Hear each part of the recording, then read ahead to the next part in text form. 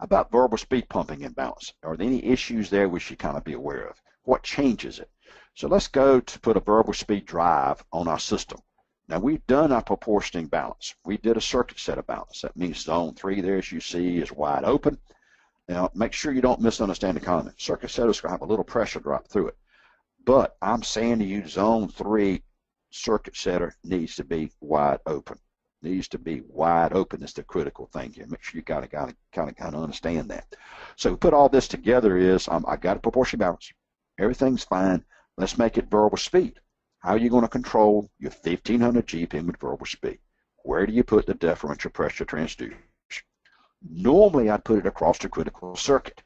We've already decided that the critical circuit was zone 3. Normally, I put it across the circuit setter, the two-way valve, and the coil. In this case, I would have my set point for 20 feet. 500 GPM for the coils, 10, 10 for my two-way valve. My circuit set, I'm going to assume is zero for the time being. 20 feet.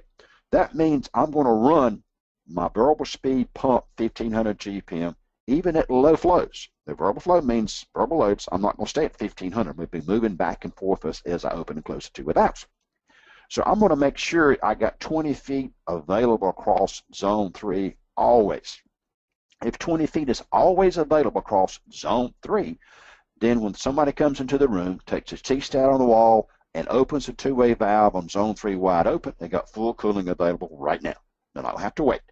I need 20 feet control head, 20 feet a minimum head that my pump's got to put out always to make sure zone 3 is ready to go whenever somebody comes in and opens that valve. So that's the concept. What happens with this when we kind of move around? What happens if the flow in zone 3 is zero? I did a proportioning balance. Go look at zone 2. I need 15 for the coil, 10 is what, 25, and I need 3 feet. That would be, what, help me out a little bit, that'd be 25, 28 feet across zone 2 to make it be able to flow 500 GPM. So you always want to be able to flow instantly whatever the need of the, of the system may be. It may not be 500, but if you need 500, you got to be able to flow it. That kind of becomes your control point. That's your minimum control head you got to have available. So the question becomes, what happens to the differential pressure across zone 2 that needs 28 feet to flow 500 GPM if zone 3 has no flow? Set for 20 feet. What happens to the differential pressure across zone 2 as you variable speed drive as you start slowing the pump down? Let's go to zone 3. Zone 3 is set for 20 feet. But if there's no flow, then the four feet on the supply side of zone three and the four feet on the return side of zone three go to what? They go to zero. There's no head, there's no flow. So your 20 feet differential, there's no flow through zone three, backs down to zone two. And now only have 20 feet of differential across zone two. And you need how much? 25, 28 feet you're in trouble. You got your pump set to give you 20 feet of drop cross, the, cross there always, and you need 28 for full flow. You cannot satisfy the load. Now you might get away with it, but you might have a problem.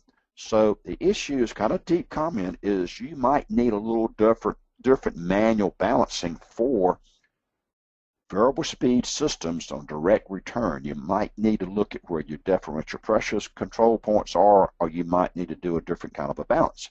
One solution to this would be you put a differential pressure transducer on every zone. And we see people doing that. We this is the case. You use three differential pressure transducers to the pump, and then one throws some set point takes over controls. Everybody's happy. Costs more money. That's okay. And we see that done a lot. It's a good reason here to use multiple sensors. Let's take a look at another way to do that would be with balance. So let's do a little modified balance and see what happens. I turn the system on again. I think you see that zone 1's in zone 2. And if zone 3 has no flow and you got zero pressure drop across the supply return piping to zone 3, I wind up with 20 feet across zone 2 and we're not going to have design flow. What are some things we could do maybe to fix that? We could do an alternate balancing concept on variable speed, variable flow balancing with circuit setters. We could come along and say, let's ignore the four feet on the supply side and the four feet on the return side. Let's just balance each circuit against each other. In other words, just take zone one and make the total pressure drop across zone one 25 feet. Let's go to zone two. Let's make the total pressure drop just across that zone 25 feet. Let's go to zone three. Let's just make the total pressure drop across zone three 25 feet. And what we did was just ignored the four foot pressure drop segments. If you do that and you set your differential pressure transducer control up from 20 to 25 feet, all of a sudden now you've got a modified balance that would assure you, no matter what the flow, every zone has 25 feet across it, and 25 feet across zone 2 or 25 feet across zone 1 will give you the full required flow of 500 GPM. Another way of getting there, and your smart balancing people understand this, it's a tricky way to do things, but it works, not a bad idea. Let's take a little bit more happens to what happens at zone 3 at zero flow. And as you can see, zone 3 at zero flow with a 5 feet, I'm okay. All the flows get there. So you kind of got the idea how the 25 foot would work, and you see how an alternate balancing example takes care of the variable speed issue. Let's just see what happens when we go a little bit further with this and we start morning startups and backup. What happens to zone three? Kind of mentioned to you before, if you got this night setback thing and you're going at it, that when you get out of control, the two-way valve, this case zone one, is going to grab all the flow it can. So if I did the alternate balance thing, that's fine.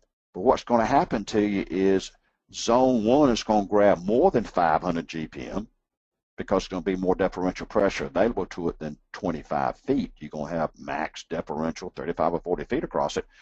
And on startup, that two-way valve on zone 1 is going to be grabbing everything it can and it's going to overflow.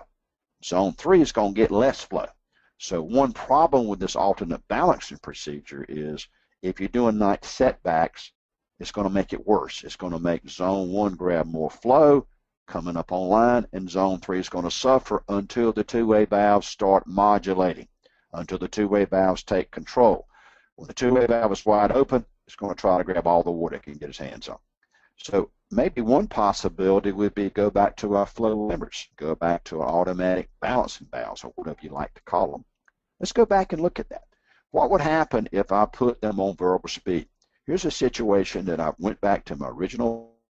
This has been proportioning balance. As you can see, I've got five feet of drop through zone three's flow limiter, my automatic balancing devices. I got five feet. Minimum required to make this spring works, two pounds of five feet.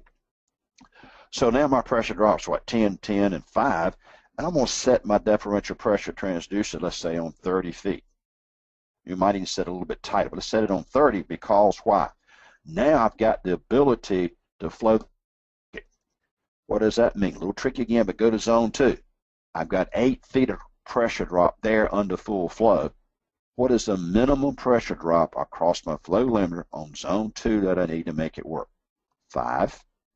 So what's the worst situation for my differential pressure transducer?